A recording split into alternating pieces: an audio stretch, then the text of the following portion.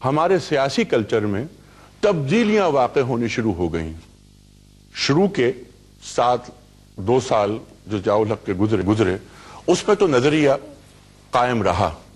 लेकिन फिर जब जियाउल हक साहब की छतरी तले सियासी जमातों ने एलानिया तौर पर या खुफिया तौर पर मफादात की हसूल के लिए अपने नज़रिए तब्दील किए या खुद को गैर नजरियाती कर लिया तो हमारे मुल्क में दाएँ बाजू, बाएँ बाजू की सियासत का और इस नजरियाती सियासत को जवाल आना शुरू हो गया।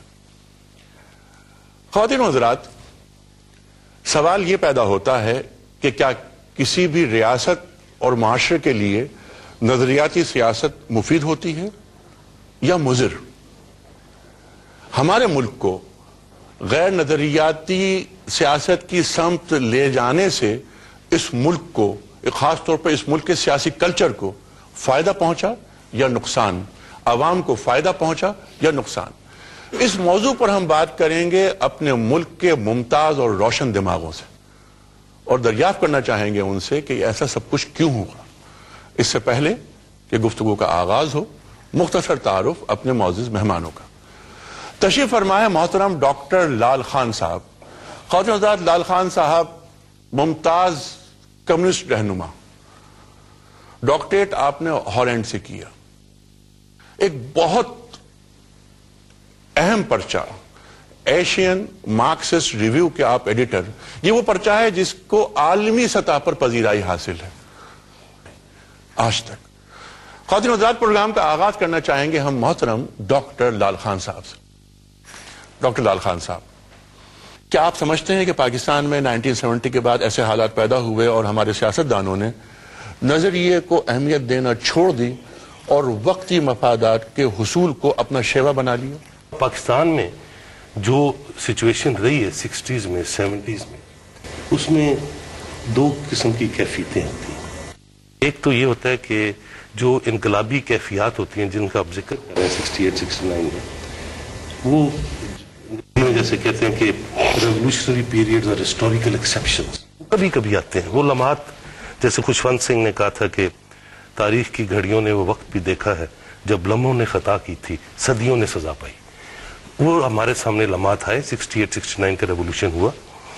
उस रेवोल्यूशन में बुनियादी तौर पे लीडरशिप क्यादत ने नहीं फराम की, अवाम ने क्यादत को बताया कि किधर जाना है।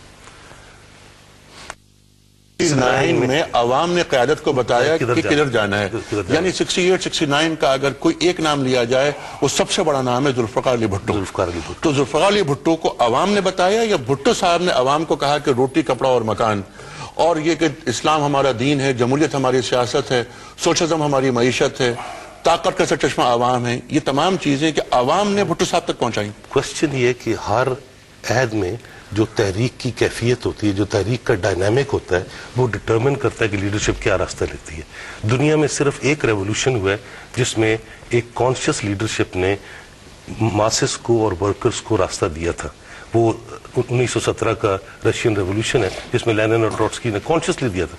बाकी अगर इवन आप चाइनीज़ रेवोल्यूशन देख लें तो 1949 में रेवोल्यूशन से तीन माह पहले माओ बुक किताब लिखता है न्यू डेमोक्रेसी उसमें वो लिखता है कि China will have to go through hundred years of capitalist development ठीक है ये बात हम कर रहे हैं मॉस्को की और बीजिंग की.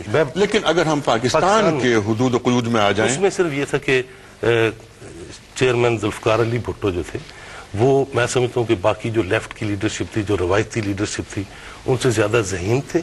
उन्होंने उस रेवोल्यूशन के कैरेक्टर को ज़्यादा गहराई में समझा।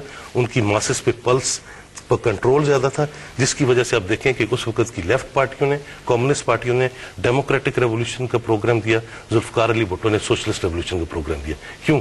क्योंकि जो मूवमेंट बन रही थी, उस मूवमेंट में जो कैरेक्टर था, वो डेमोक्रेटिक नहीं था। जब लोग बसों और ट्रेनों में सफ़र करते थे, वो कहते थे, किराया नहीं देते ट्रेनें हमारी ये मकानों के किराए देने से इनकार कर रहे थे। फैक्ट्रियों पे जागीरों पर घिराव और जलाव हो रहा था। वो मास मूवमेंट जो थी, उसमें जो तहरीक थी, वो बुनियादी तौर पे मिल्कियत के रिश्ते चैलेंज कर रही थी। और मिल्कियत के रिश्ते डेमोक्रेटिक रेवोल्यूशन में चैलेंज नहीं होते, सोशलिस्ट रेवोल्यूशन में चैलेंज होते इसी वजह से जुल्फकार अली भुट्टो ने जो प्रोग्राम दिया था पीपल्स पार्टी का, वो ये प्रोग्राम मेरे सामने पड़ा हुआ है। इस प्रोग्राम में क्या शुरुआत क्या है कि ultimate objective of the party's policy the attainment of a classless society which is only possible through socialism our times ठीक है। उस वजह से रातों रात पीपल्स पार्टी पाकिस्तान की तारीख की सबसे बड़ी पार्टी बन गई है। क्योंकि क्लिक किया उस नज़रिए ने जो भुट्टो साहब ने दिया था अवाम के रेवोल्यूशन के कैरेक्टर के साथ ठीक है। जिसकी वजह से नज़रिया बना ये जो भुट्टो साहब ने दिया था जी, जी। नज़रिया हाँ। ये जो अपनी फ़िक्र को आम किया जो आप लाए हैं साथ ये आज से तीस बरस पहले की बात है क्या आज पाकिस्तान पीपल्स पार्टी में कोई ऐसा सियासी वारिस है जो भुट्टो साहब की इस फ़िक्र को लेकर चले? मैं समझता हूँ बहुत सारे लोग हैं पीपल्स पार्टी में। और नज़रिए में कोई तब्दीली नहीं आई। नज़रिया की आज ज़्यादा ज़रूरत है इस अच्छा की। लेकिन आपने आगाज़ में ये फरमाया कि वक्त गुजरने के साथ साथ हालात तब्दील होने के साथ साथ नज़रिया भी तब्दील होता है फिक्री इर्तका होती है। सही लेकिन अभी तक जो नज़रिया अपनाया नहीं गया जो लागू नहीं हुआ उसका इर्तका तो उस वक्त होगा ना जब वो लागू होकर नाकाम होगा। अभी तक पाकिस्तान में सोशलिस्ट रेवोल्यूशन नहीं हुआ।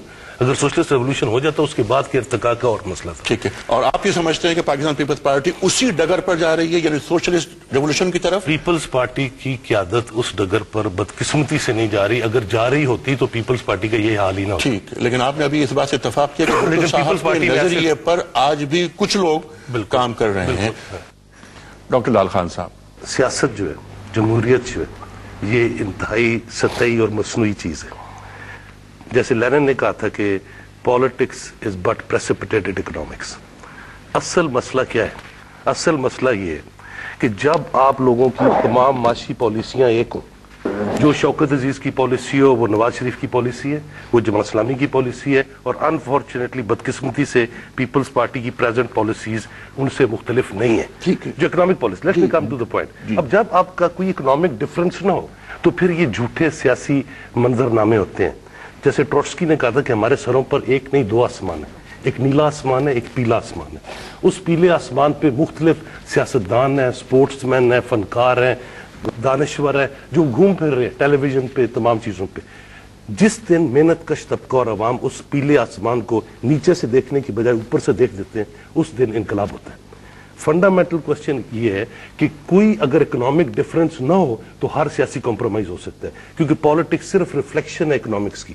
क्वेश्चन ये है कि इस माशी बहरान, जिससे हर रोज पाकिस्तान में दस हज़ार आदमी गुर्बत की लकीर से नीचे गुजर रहे हैं 80 परसेंट लोग नॉन साइंटिफिक मेडिकेशन पे मजबूर हैं 50 फ़ीसद से ज़्यादा बच्चे स्कूल जाने का सोच नहीं सकते।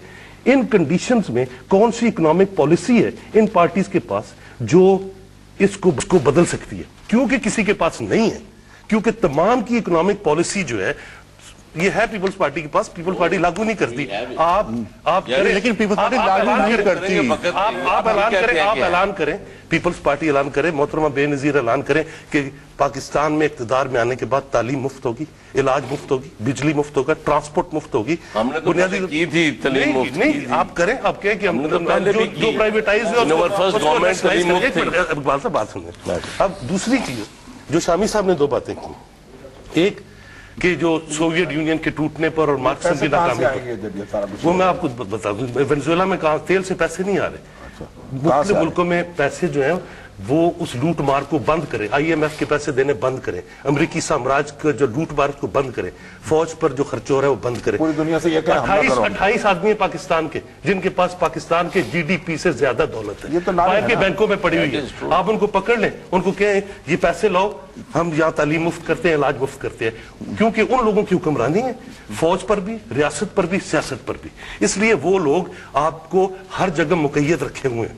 और रेवोल्यूशन के बगैर उन लोगों का इकतदार टूट नहीं सकता। लेकिन एक मैं ज़रूरी समझता हूँ, जो पॉइंट उठाया शामी साहब ने। इन्होंने कहा, जी सोवियत यूनियन नाकाम हो गया मार्क्सम खत्म हो गया, ये हो गया। ये तो सतही प्रोपोगंडा है। मैं एक फैक्ट आपके सामने रखना चाहता हूँ।